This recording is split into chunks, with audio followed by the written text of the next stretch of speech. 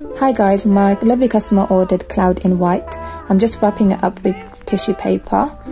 Uh, I like to make sure it's nice, um, keeping my packaging very minimalistic. Um, I like to keep it pretty with the business card at the front. Next video I'll show you how I pack it in the box.